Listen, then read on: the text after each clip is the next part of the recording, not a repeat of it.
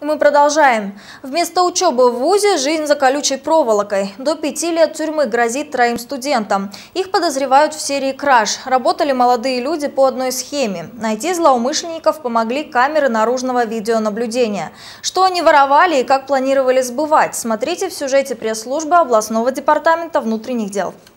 Собрался на работу, не смог завести машину. В один день сразу 12 владельцев авто обратились заявлением в городское УВД о краже аккумуляторов. Оперативники обратили внимание, все происшествия случились во дворах многоэтажек, а интересовал злоумышленников только старый советский автопром, Нивы до Жигули. Кстати, способ хищения во всех случаях был одинаковый. Преступники вскрывали капот и отсоединяли аккумуляторы. В ходе проведения оперативно-розыскных мероприятий с помощью видеокамеры было установлено трое жителей Тимиряйского и Мавлюйского района в возрасте 18-20 лет.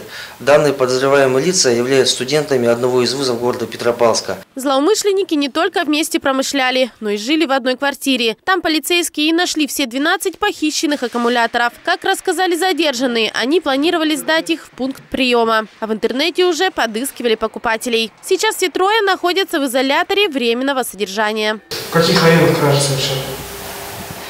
Район театра Погодина завода Кирова. Дворы сами выбирали, просто заходили в двора? Просто заходили пути. А там видеокамеры установлены были во дворах, это, вас это не смутило?